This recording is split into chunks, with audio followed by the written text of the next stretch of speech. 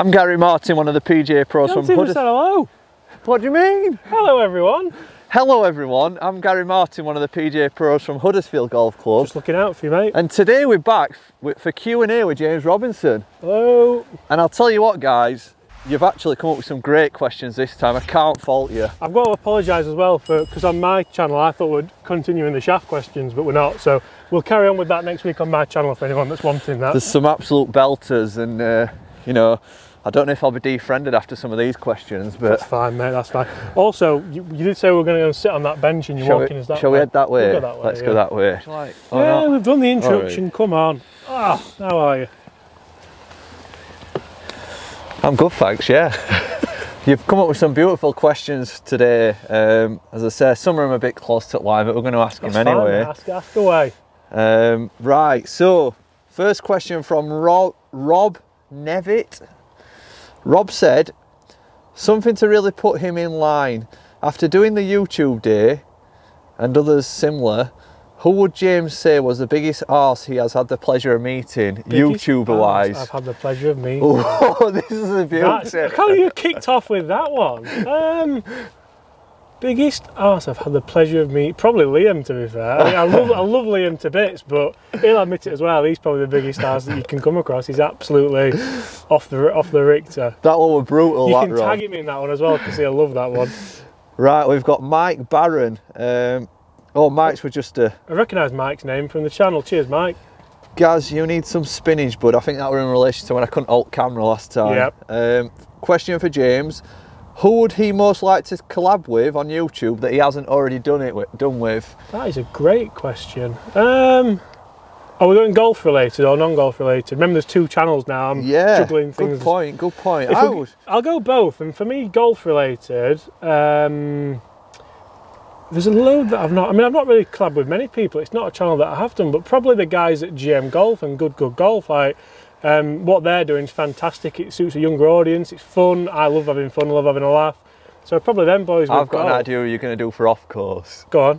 TGE. Yeah, it would be actually. Yeah, yeah. So if you follow TGE TV with the cars and that, like really, really into that, and uh, nice guy as well. Speak to him a bit. So yeah. Right, we've got. Um, well, this one's. Who? This is from David Bowie. David Bowie. Bowie. Is it Bowie? It can't be Bowie. Who wears the pants, you or Laura? Keep in mind, I watch your off course channel. Well, he knows the answer then, doesn't he? Otherwise, that's the question. Probably Laura. Um, I think most men would stay stay the same. I think, although I do get away with a lot, like a lot, a lot. You know, Yeah, like, she's like good. The, the car that I got on the second one, just didn't tell her and just went and got it, and she was fine with it. Like I think a lot of women would maybe be a bit more Yeah. uh, have a problem with that. So she does, but I, I know where the line is, and I think we do quite well with that. Maybe really. I think you just let her think that she wears pants. you know that meme where he goes like, "Ah, There were a comment from Andy, uh, I think it's Lineker it's spelt. It was just a funny one that he said, he said, I bet your arm weren't aching when you saw your wallet. you know, when I went to pick it up Yeah, off floor. Yeah, yeah. it was Uh, empty, like it always is. But Yeah. Um, Stu Morgan. There's been a lot of questions from people I think probably looking to start YouTube or interested in that side of the channel. And okay, I love answering them. To be fair. Stu Morgan said, um, please ask James, at what point of making YouTube videos did it become financially worthwhile um, and making it your preliminary, preliminary income? Is that right? primary income. Primary income. For me, I mean, it depends what your expenses are and what, um, obviously, like your family situation and stuff. For me, when I started a couple of years ago, I didn't have that much going out. Like, I had a very small mortgage, my car didn't cost a lot. Um, and I basically, when, so like, like Gary does now, we work in the pro shop to, to make kind of a base income, then you'd have your teaching on top of that. As soon as I could get the YouTube income up to where the shop income was, I, I took the gamble and I went for it. Ob- I Yeah. mean, it was the best thing I've ever done. It might not work for some people, um, but for me, if you can start to see, like, if you can replace an income with an income that you absolutely love making, then even if it wouldn't have, have gone more, which it Yeah. is now, luckily, I would have still rather done that enjoyed that. And it gave me more time because obviously making YouTube videos, yeah, it's time consuming, but you can edit on an evening, like when people are asleep. But you can't give golf lessons at one in the morning, so you, you free your time up a little bit more. And if you want to make it work, you can. You've just got to be be persistent with it, really. Another part he asked for us as well is um, what's the best way to drive subscribers? How would you try to get new subscribers? Is just consistent, decent content. Like I say that my content isn't as good as some of the content out there, but I feel like it's wholesome. I feel like it's honest and, And- it's every day. So like, there's literally there's people out there that know I am but hate me because I'm there every day. And Yeah. it annoys people. So I understand that some people love the daily content, some people hate it. I for one love making it. So for me, that's that's what's probably done it. Good question, good answer. Um, Paddy Mack, question to James. What do you think of Top Bloke and his criticism to Mark Crossfield? I to be honest, I don't mind it. I think he's actually he's, he's gone down a bit in some of the things he says as well. I think he was probably hitting the line at some points, got a bit personal with a lot of people, and then like he made a video actually the other day on my second channel, and it was really funny. Like because he was basically picking up on things that I was doing wrong, and it was it was funny, it was good, and I think he's he can be come across as quite funny and good content if it's not kind of going over that line. Well, I watched that one and I were actually surprised because I think he's warming to you. I, I I wouldn't. I wouldn't say warming to me at all. I, I don't. um, but yeah, I think when it's good and it's funny, I love. I love stuff like that, and I think Yeah. it's great that we can. You have to be able to. If you take yourself too seriously in this game, you're never going to last. You're never going to do it. So I think it's good that people have a laugh with it. Definitely. Good stuff. Uh, this one could spice things up. This one's a bit naughty from Jack, actually. Jack, with Jack the lad. He's spo- is Bella Angel the hottest golfer you've had on your channel? No. Foxy. Foxy! No, obviously Laura. Laura. We're getting married, aren't we? So yeah, Laura's. Uh, we're getting married for a reason. For what it's worth, James, I agree with you. Yeah. it's definitely not you, mate. I'll tell you that.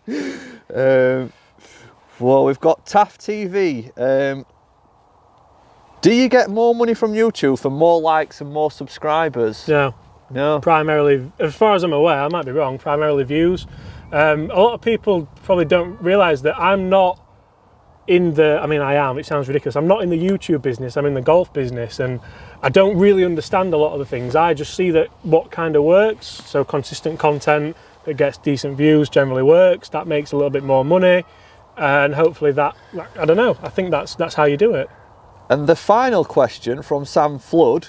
Um, I don't think you'll even remember this, but I'm going to ask you. Sam you. Flood. He said, "What's your worst comment you've ever received on a video?"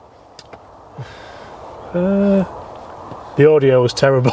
Yeah. it's you know what? It's almost it gets to the point where I've, I've done over a thousand videos now across two channels. You don't remember the bad ones. I, if you did remember the bad ones you'd quickly stop doing it. So i yeah I d- probably is you know like when you've spent like we've got these mics on today and these mics Yeah. are like 600 pound and someone still the other day said oh audio's a bit windy. Well we're outside mate on a golf course. Like a lot of people don't understand it's not hollywood. We're not you invest to a point what you can in it yeah. but then if people still pick fault, that probably that. And it, you know what? It's the stuff that's true that needles you. Yeah. If someone says you're a fat moron, well, you know, it's partly true, but it's just a dig. If someone says your audio's a bit shit there, you're like, yeah, it probably is actually, and Yeah. it's, it's the true stuff that needles you. So yeah, but you're cold, mate. I am a bit cold actually. Yeah, teeth are jangling a lot.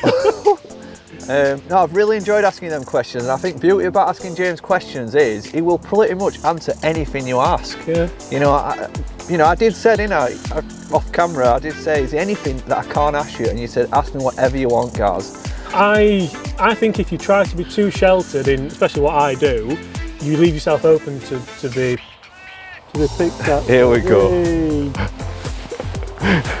There's always one in I there. don't really know that is. But...